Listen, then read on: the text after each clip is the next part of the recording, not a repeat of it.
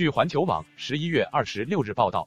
美国新闻周刊二十五日称，大选失败后，唐纳德·特朗普正失去成千上万名推特粉丝。新闻周刊表示，本周特朗普的推特粉丝每天都在流失，而自十一月二十二日以来，已有四万六千多名推特用户取关特朗普。报道说，现在看来，他八千八百多万推特粉丝中的一些人可能已经受够了。因为他的粉丝数已经连续四天下降了。根据跟踪社交媒体统计和分析的美国网站社会前瞻 Social Blade 数据，十一月二十四日，特朗普推特账号粉丝数减少了一万两千四百七十六人；十一月二十三日，减少五千九百七十九人；十一月二十二日，减少一万九千一百六十四人。新闻周刊称，在被对手拜登击败后。特朗普在白宫的日子已为时不多，但他仍继续在推特上传播有关大选的错误信息，而这些信息也引发人们猜测，在特朗普离任后，其推特账号也会迅速受限。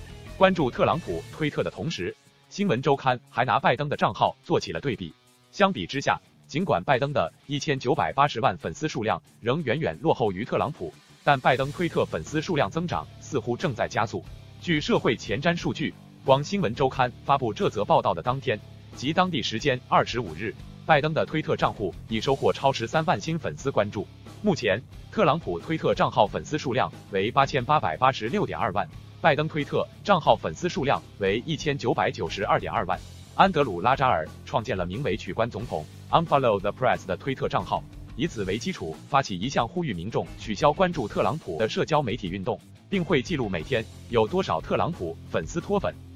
拉扎尔在账号简介中写道：“既然推特官方还不禁掉特朗普的账号，那我们所有人可以取关他。”该账号已获得1.5万人关注。拉扎尔告诉《新闻周刊》，到明年一月，特朗普将不再与我们的全国性话题有关。然而，他的推特账号仍然给了他巨大的舆论影响力，而他在利用这种影响力继续分裂我们的国家，包括向其追随者散布有关选举欺诈的虚假信息，这是十分危险的。对于发起这项运动的目的，他解释道：“对于特朗普一些违规的内容，推特只是在贴一些毫无意义的标签。我想说，作为推特社区一份子，我们有能力和义务把特朗普的影响力降低。我们也应该这么做。”此外，观察者网报道说，尽管特朗普目前仍不承认败选，但推特官方已经开始着手处理其推特账号。十一月二十日，美国新闻网站政客从推特官方处证实，明年一月二十日拜登正式宣誓就职后，